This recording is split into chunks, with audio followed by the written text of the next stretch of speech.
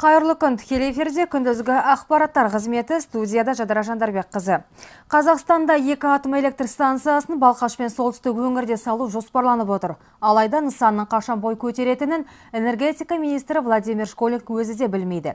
Бұл жайында энергетика министрі бүгін парламент сенатының жалпы отырысында атом энергиясын пайдалану туралы заң жобасын талқылау барысында айтты.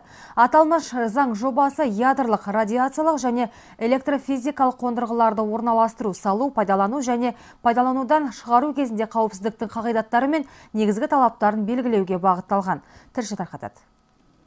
Қазақстанда медицина, өнеркәсіп пен ғылымда қолданылатын 5 ядролық қондырғы, 4 радиоактивті қалдықтар қоймалары, жүздеген радиациялық қондырғылар, бірнеше мың сәулелер иондайтын орындар бар. Осы жылдар аралығында Қазақстанда атом энергиясын пайдалану жұмыстарын жүргізуге 3 мыңнан астам лицензиялар берілген. Атом энергиясын пайдалану саласында қызметтерін жүзеге асыратын ұйымдар мен кәсіпкерлік субъектілер саны да артып келеді. Сонымен қатар Қазақстан осы уақыт аралығында атом энергиясын пайдалану саласында бірқатар халықаралық конвенцияларға да қосылды. Сондықтан атом энергиясын пайдалану туралы заңның жаңа редакциясын әзірлеу осыдан туындады дейді энергетика министрі Владимир Школьник. Бұл құжат атом энергетикасы саласындағы қызметтердің қауіпсіздігін арттырмақ. Әлемдік қаржылық дағдарыс қысып жатқанда бірқатар инновациялық жобалар кейінге шегерілгені мәлім. Бірақ атом станциясын салу еш қиындыққа қарамастан салынады дейді министр. Не снимается данный вопрос.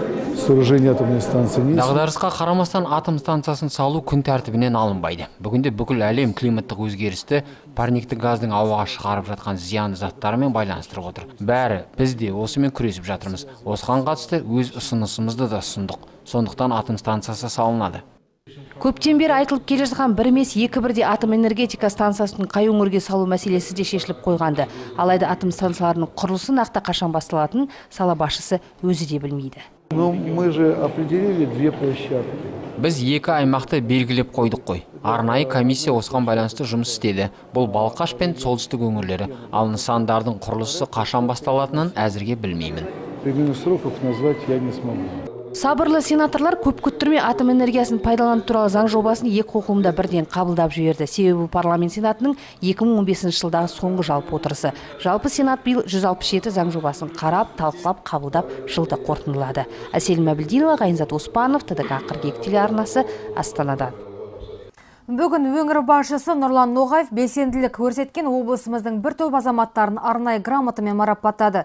Еңбегімен еленген депутаттар қатарында облыстық маслихат депутаты Ақсерік Әйтімов, Сырым ауданы маслихатының хатшысы Әнуарбек Ғалинов және Жаңақала ауданының маслихат депутаты Рухула Саматов бар. Жиын соңында облыс әкімі қошеметке бөлінген аталмыш маслихат депутаттарына алдағы уақытта да халықтың игілігіне қызмет атқарады деген сенімін білдірді жаңа жылдың қарсаңында тәуелсіздік күніне орай қазақстан республикасы парламенті сенатының спикері қасым жомарт кемелұлы тоқаевтың тапсырысымен мен аса белсенді болған депутаттарға мәслихат депутаттарына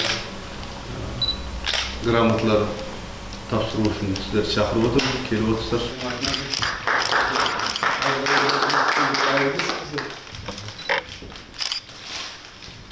Биылғы жылдың желтоқсан айында еліміз дүние жүзілік сауда ұйымына 162 болып тіркелді. Мұндай батыл қадам елімізде орын алған жарғын сәттердің бірі. Осы айтулы мәселеге орай аймағымыздың кәсіпкерлер палатасы мемлекеттік кірістер департаментімен бірлесіп өңір кәсіпкерлеріне түсіндіру шарасын қолға алған болатын. Отырыс өңірегінде Ақбота Болатқызы баяндайды.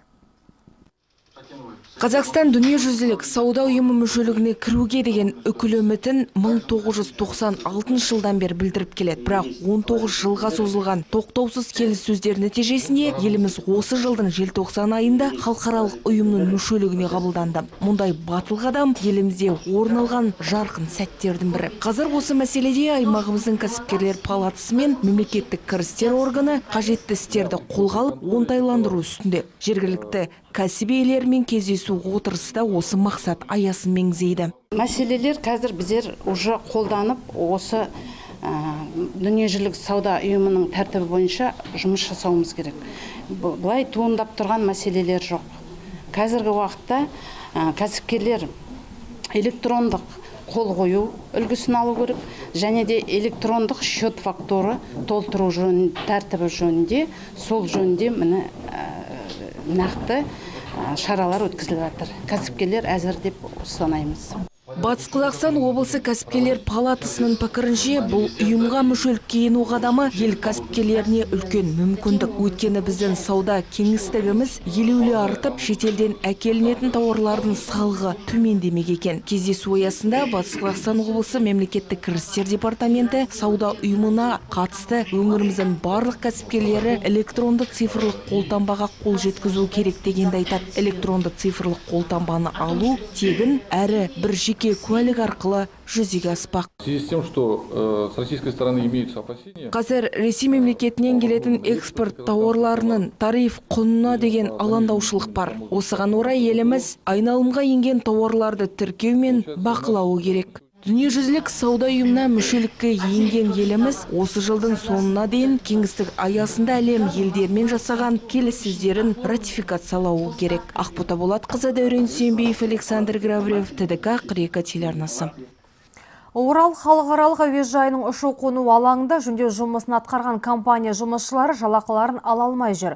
Мердігер кәсіпорын басшысы Батыр Ермекбаевтың сөзіне сенсек, алажақ ақы сомасы 8 миллион теңгеден асқан. Оған берілген жұмысты өзара келісіммен бірнеше ферманың атқаруы салдарынан ең соңында түсініспеушілік туындауы себеп көрінеді. Қазіргі кезде аталмыш факті бойынша қылмыстық іс қозғалып жатыр. Арнамызға шағымданған Батыр Ермекбаевтың айтуынша бас мердігер алғашқыда келісім бойынша әуежайдың ұшу қону алаңын бірлесе жаңғырту туралы өтініш білдірген. Енді келіп ағадал еңбектерін жеп отыр. Бұған жұмыс барысындағы заңсыз құжат рәсімдеулер себеп болған болуы керек дейді ол. Өйткені бүгінде Мәскеуде деп аталған тағы бір мердігер кәсіпорын компания ретінде мүлдем тіркелмегені белгілі болып отыр. Жарты жылдан бері Ермекбаевқа төленбеген жалақы мөлшері 8 миллион 935 мың теңгені құрайды. В моем ИП работало 5 человек. Менің кәсіпорнымда 5 адам жұмыс жасады. Оның біреуі, яғни тракторист жұмыс кезінде қайтыс болды. Мұны бәрі біледі. Әуежайдағылар да естіп көріп отыр. Мен Кардостройдың бас директоры Лазаревке хабарласқанымда, маған ол сіздің бұл шаруаңыз емес деп жауап қатты. Сондай-ақ екінші рет ол маған еңбегіміздің пайдасы тигендігін айтып, рахметін білдірді. Қазіргі кезде мен прокуратура органдарына хабарластым, бірақ олар менің құқығымды қорғауға қауқарсыз сияқты. Еңбек инспекциясы бұл азаматтық мәселе деп шығарып салды.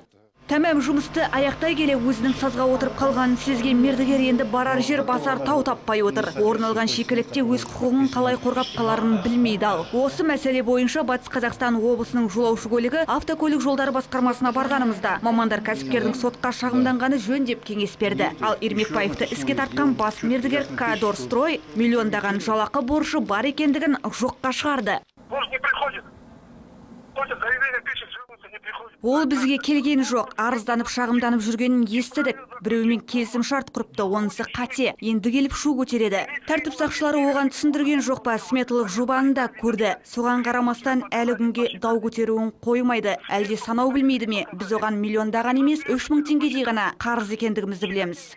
Естеріңізге саламыз, Орал әуежайының ұшу қону алаңын күрделі жөндеуге 6 миллиард 300 миллион теңге жұмсалған болатын. Бұл жұмыстың бір бөлігін комиссия мүшелерінің өздері тексеріп алды. Эльмира Рахмешева, Айболат Жақыпар, Александр Граврев, ТДК 42 телеарнасы. Корей халқының салаттарынан бірнеше түрлі бактериялар анықталды. Бұл туралы Орал қалалық тұтынушылардың құқықтарын қорғау басқармасының мамандары мәлімдеуде. Азық түліктердің сынамасы алынып, зерттеу жұмыстарының нәтижесінде қорытынды шығарылған. Алайда оның нақты қай дүкендерде сатылып жатқаны туралы хабар берілмеді. Сондықтан да дастархан мәзірінде міндетті түрде табылатын фунчоза, хе және корей салаты сынды өнімді тұтыну қауіпті десек болады. Бұл мәлімет жаңа жыл қарсаңында оқыс оқиғаларды болдырмас үшін сіздердің назарларыңызға ұсынылуда. На сегодняшний день по мониторингу безопасности пищевой Біздің басқармамен шаһарымыздағы сатылымда жүрген кореялық салаттардың ауқымды көлемі сараптамаға алынған болатын. Нәтижесінде күрделі заң бұзушылықтар анықталып, балық және түрлі салат өнімдерінің көгеріп кеткендігі белгілі болды. Яғни ол тағамдардан түрлі бактериялар анықталып, тұтыну нәтижесінде улы заттар адам ағзасына зиян келтіруі мүмкін екендігін білдік. Сондықтан да арнайы қаулы бойынша бұндай өнімдерді сатуды біздің шаһарымызда тыйым саламыз. Әзірге айтарымыз осы амандықпен көріскенше.